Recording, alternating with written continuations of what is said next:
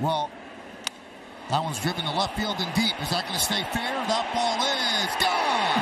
Another home run for Torres. And it's 5-1 Yankees.